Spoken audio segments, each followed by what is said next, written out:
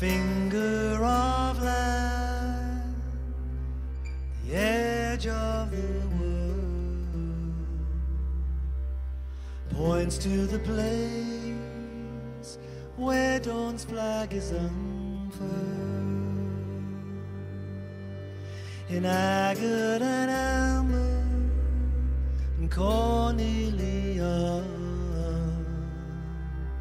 flint and in quartz, as the new morning comes.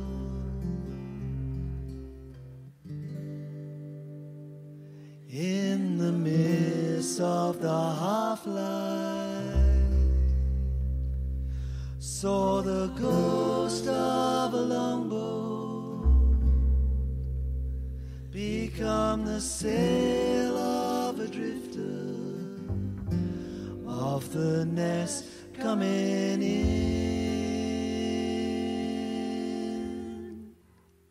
between the night and the morning saw the shadow of a trawler form the shape of a vessel that harvests the wind.